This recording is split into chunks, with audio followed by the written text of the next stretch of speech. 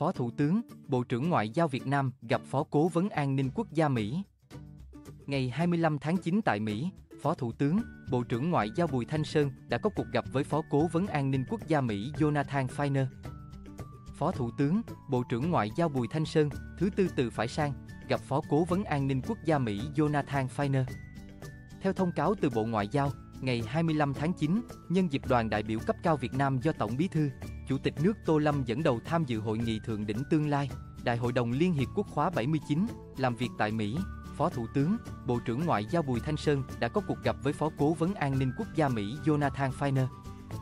Tại cuộc gặp, Phó Thủ tướng, Bộ trưởng Ngoại giao Bùi Thanh Sơn và Phó Cố vấn An ninh Quốc gia Jonathan Feiner bày tỏ vui mừng trước đà phát triển và những tiến triển tích cực trên tất cả các lĩnh vực mà quan hệ Việt Nam, Mỹ đã đạt được sau một năm nâng cấp lên đối tác chiến lược toàn diện.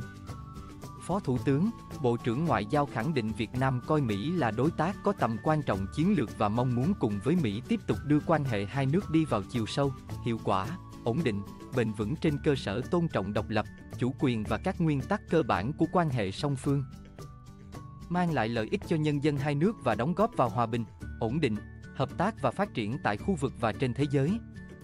Phó Thủ tướng, Bộ trưởng Bùi Thanh Sơn đề nghị hai bên cần tiếp tục tăng cường tiếp xúc và trao đổi đoàn, nhất là ở cấp cao, đề nghị Hội đồng An ninh Quốc gia và các cơ quan liên quan của hai bên phối hợp chặt chẽ để chuẩn bị cho các hoạt động kỷ niệm 30 năm thiết lập quan hệ ngoại giao vào năm 2025, đẩy mạnh hợp tác kinh tế, thương mại, đầu tư, khoa học, công nghệ và đổi mới sáng tạo, cũng như các lĩnh vực hợp tác khác trong khuôn khổ quan hệ mới. Phó Cố vấn An ninh Quốc gia Mỹ Jonathan Feiner ghi nhận và đánh giá cao các ý kiến của Phó Thủ tướng. Bộ trưởng Ngoại giao Bùi Thanh Sơn, đồng thời tái khẳng định sự ủng hộ mạnh mẽ của chính quyền đối với việc thúc đẩy quan hệ đối tác chiến lược toàn diện Việt, Mỹ, nhất quán ủng hộ một Việt Nam mạnh, độc lập, tự cường và thịnh vượng.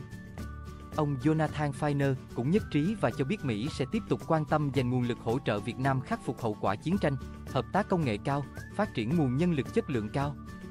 Hai bên cũng trao đổi về các vấn đề quốc tế và khu vực cùng quan tâm, trong đó có hợp tác Mekong, ứng phó với biến đổi khí hậu, đồng thời nhất trí về tầm quan trọng của việc duy trì hòa bình, an ninh, ổn định, tự do hàng hải, hàng không ở Biển Đông.